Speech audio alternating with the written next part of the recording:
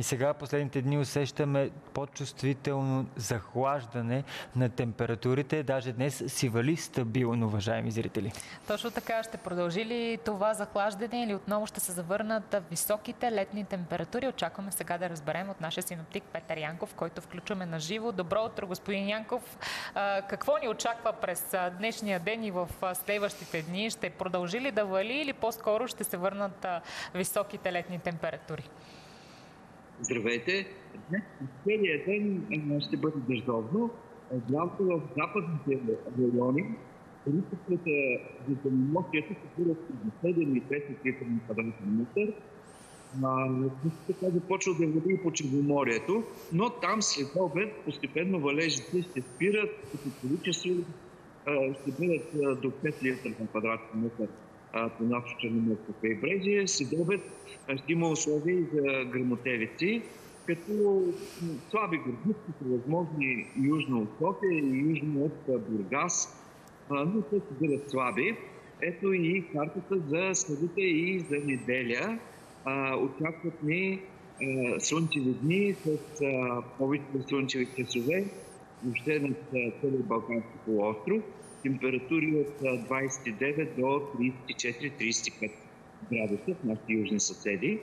Време за море. По нашото Черноморие температурите ще бъдат от 28 до 30 градуса.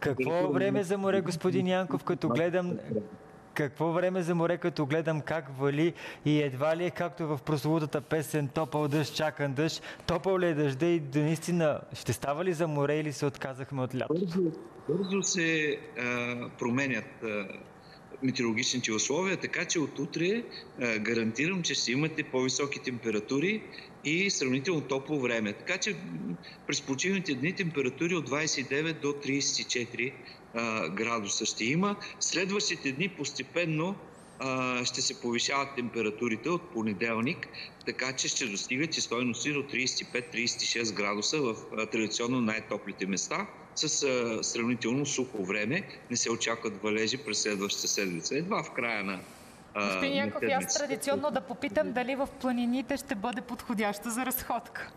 Да, пропуснахме. Температурите за високопланински туризъм са между 9 и а, 11 градуса. Това са най-високи температури за населените места в а, зимния период.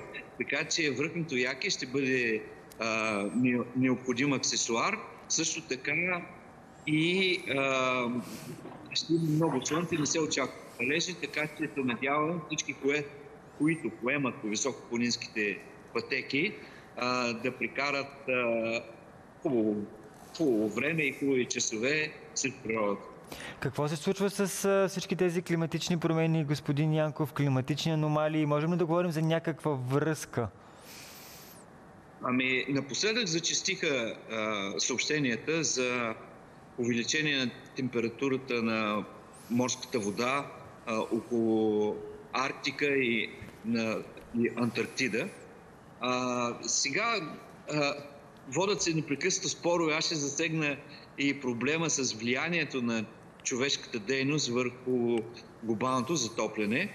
Разбира се, като процеси на затопляне, влиянието на човешката дейност а, а, заема второстепенно значение а, има, има значение а, някои промени гео, геофизични Земята. Наблюдава се напоследък и а, така увеличение на вулканичната дейност и може би поради тази причина и се увеличава чувствително температурата на морската вода, океаните и се топят интензивно ледниците. Но, тъй като климатичните промени влияят върху а, развитието на нашата цивилизация, от второстепенен проблем за нас а, проблема на човешката дейност изведнъж а, се превръща в първостепенен, тъй като в него има един фактор, това е влиянието на това е влиянието на увеличението на населението на Земята.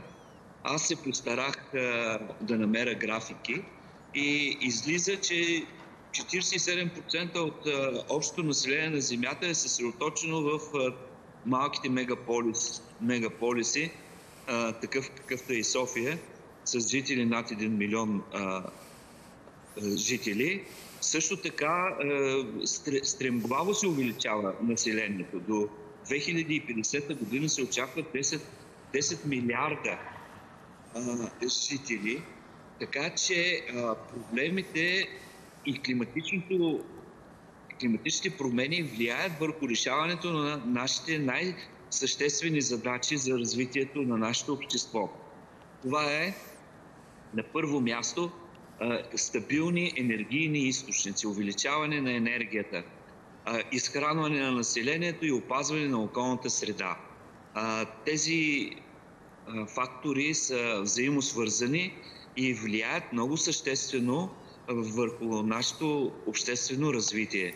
Ние се нуждаем от, не само от зелена енергетика, енергия от слънцето и, и вятъра, но и от конвенционална стабилна енергия, такава каквато е за сега само атомната е, електроенергия и развитието на атомните електроцентрали сигурно ще бъде едно от бъдещите развитие и добиви Господин на... Янков, финално, тъй като отиваме към финала на нашия разговор, да ни кажете, климата на България ще се промени ли по някакъв начин? Виждаме вече, че и сезоните доста се изместват. Ами той се променя. Глобалното затопляне на Балканите се проявява в увеличаване на, на проливните валежи и резки температурни контрасти и периоди с по-топло и сухо време с влажни периоди. ние тук на Балканите имаме идеалните условия за създаване на нови изкуствени водоеми, които както да регулират при проливни валежи отока на реките и да не се случват сериозни наводнения, така и за събиране на те нареченото бяло злато, вода за напояване, тъй като увеличаването на населението създава проблеми с увеличаване на изхранването, индустриализация на селското стопанство, за Очевидно много ни... дълго време ще продължаваме да се борим с тези, с тези климатични промени. Най-хубавото, което пък може да обещаем на хората, че въпреки този проливен дъжд на места и тук в София дъжда, ще се върнат отново летните по-високи температури през следващите дни, следващата седмица. Господин Янков ни обеща, че ще бъде топло, така че може да се радваме на хубаво летно време. Август все пак месец за отпуска и почивка, така че да не се разочароват нашите зрители. Ще има и слънце, няма само да вали и да ни мокри. Много благодарим, господин Янков, за тази прогноза, за всички разяснения по отношение на климатичните промени. Благодарим ви за това включване.